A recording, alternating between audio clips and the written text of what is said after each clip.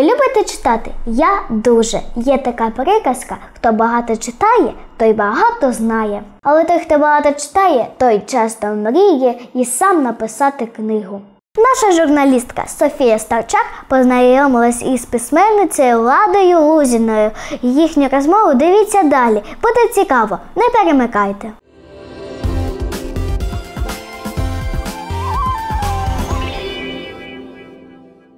У нас сегодня в гостях моя самая любимая и самая известная писательница Украины Лада Лузина. Лада, как ты придумаешь свои истории? На самом деле, вот ниоткуда. Они либо приходят в голову сами, либо не приходят. То есть я вообще уверена, что писатель ничего не придумывает. Он берет информацию откуда-то сверху, и она либо стучится к нему, так вот тук-тук-тук-тук-тук, либо обходит его стороной. Каждый раз, когда я пытаюсь придумать от ума, у меня получается плохо. Вот все самое лучшее я написала практически не думая.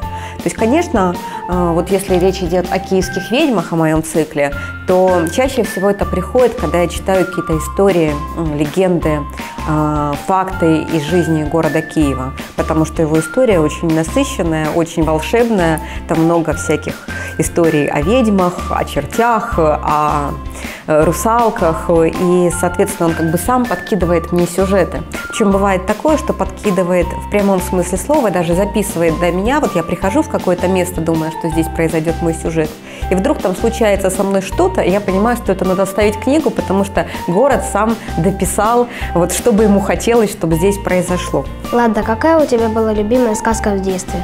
Наверное, моя самая любимая сказка в детстве была очень страшной.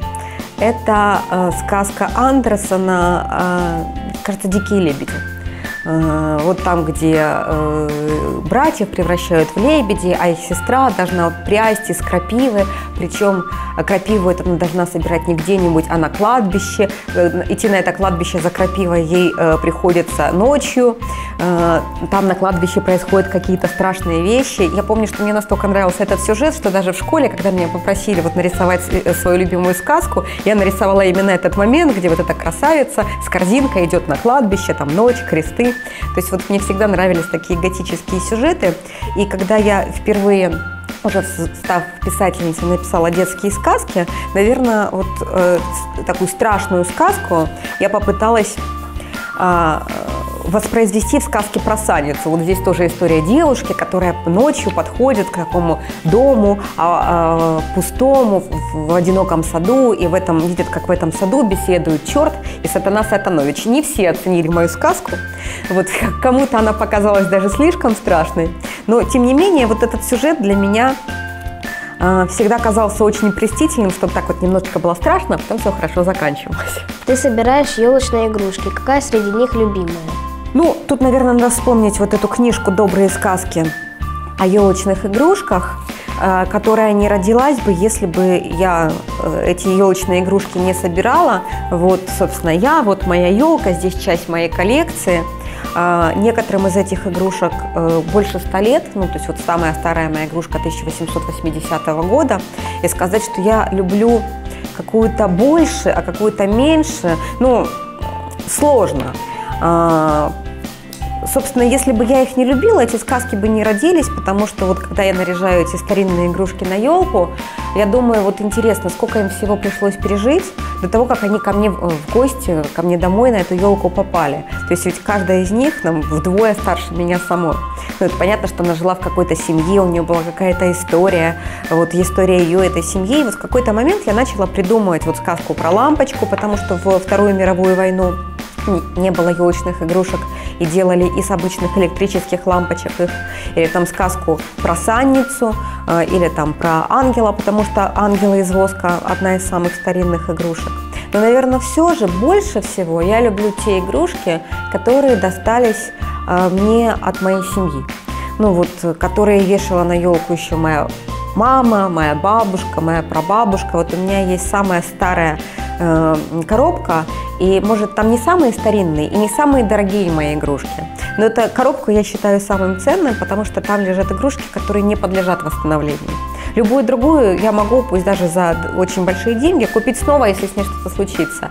А игрушка, которую вешала на елку еще моя мама, и которую моя мама вешала на елку, когда я была маленькой, и вот показывала мне, вот, посмотри, какая она красивая, второй такой не будет никогда. Поэтому эту коробку я достаю, я не знаю, там, разогнав всех на 10 метров от себя, чтобы, не дай бог, ничего со мной не случилось, там, открываю, достаю каждую очень аккуратно, вешаю на елку, там, закрепляю со всех сторон. Я даже нормальную елку себе купить не могу, потому что уже в елке а, опускаются веточки, когда она э, становится старой.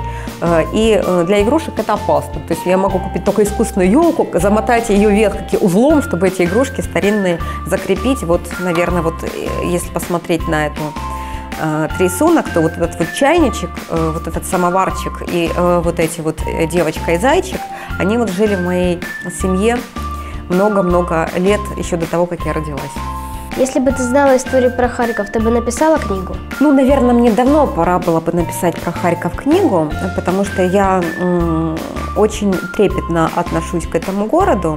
У меня есть несколько городов, которые, вот я считаю, то есть Киев моя родина, я там родилась, я коренная киевлянка, но есть еще два города, которые вот для меня э, вторая родина. То есть первая это Одесса, и Одессу я полюбила раньше, чем Киев. И вот поэтому здесь в книжке появилась одесская сказка, потому что в какой-то момент я поняла, что Одессу я полюбила раньше, но ничего про нее не писала.